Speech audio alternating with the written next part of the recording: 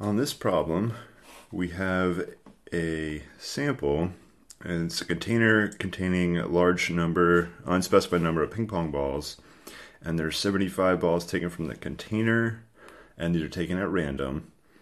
Uh, it doesn't mention that, but it says taken from the container. Uh, they weren't taken in any systematic way, but they were marked a blue dot and then returned to the container, mix the balls, and then take 75 more and of those 75, 15 have blue dots. So to use this to estimate the total number of ping pong balls in the container, what type of sampling is this? You can find some of these in the book. Uh, let's eliminate some. So here the consensus, uh, or the census, is looking at every single uh, ball. And in this case, we did not look at every single ping pong ball, so that's out.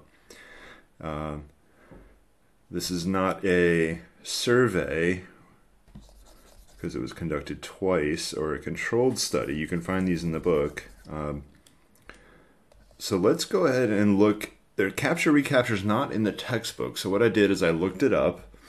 Um, and you can, of course, look at the different samples here inside the textbook. But again, that capture recapture is not there. So I looked it up on Google. And here is uh, the Wikipedia page. And this one's labeled mark and recapture, but this is also called capture recapture. Um, and just reading this, it's commonly used to estimate an animal population size, where it's impractical to count every single one.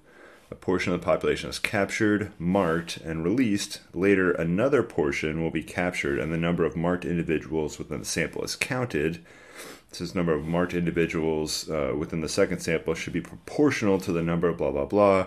This is exactly what happened in the ping pong exp- uh, ping pong ball ex- uh, experiment or uh, sample, where some balls were captured, marked, thrown back in, mixed, and then counted. So that's why we're going with capture recapture here.